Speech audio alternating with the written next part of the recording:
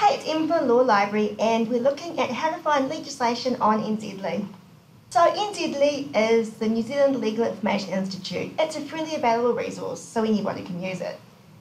And it has some really handy things that aren't available elsewhere. In terms of legislation, you click on the legislation link and you'll see a whole lot of different resources related to different types of legislation. The ones I use most often, as you can see on the screen there, are the Acts as enacted collection and the Historical Bills collection. But these other collections also have their various uses, particularly if you're wanting very, very specialised things. So Acts as enacted are basically examples of legislation as are passed initially through Parliament, and it goes right from 1841 through to 2007. Examples after 2007 can be found in our main subscription databases. If you want legislation as it's currently in force, then your best bet is to go to legislation.gov.nz or of course the subscription databases depending on who you are and whether you're a staff member or student here. So just to see what we have for 1841, click on the year, and you'll see there are a few acts there that were actually passed in New Zealand during that year.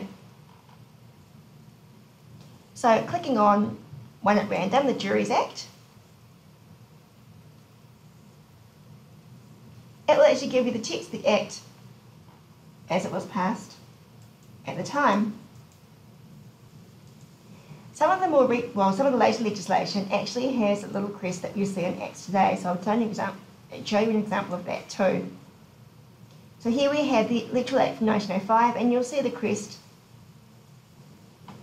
But nonetheless, you can see here that you can scroll down, read the Act as it was, and download it or whatever as well. And the other one I find really handy is a historical bills collection. And sometimes we get people asking for bills that have gone through Parliament in previous years and may relate to acts that have long since been repealed or just acts that never quite made it through to being legislation. And both of these things are covered by the Historic Bills collection as well as acts that did actually eventuate and are still maybe in force today. And as you can see, the collection goes back quite a long way. So I click on one at random.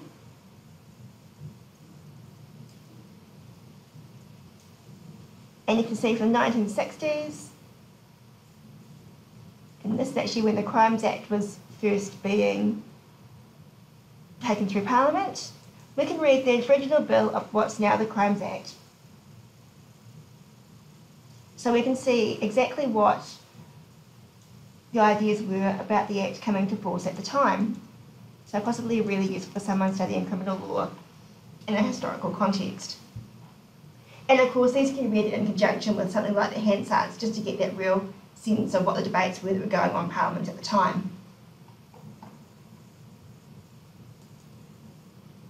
So I find that's a really invaluable resource, particularly because a lot of libraries, including our own, have actually dispensed with the hard copy bills and never really kept bills that have either been passed into law or actually repealed. So um, it's really good to have this collection here where you can access all that sort of stuff that mightn't be available anywhere else. Okay, so that's pretty much it from me. If you want to help with this or anything else, get in touch. Down details are on the screen.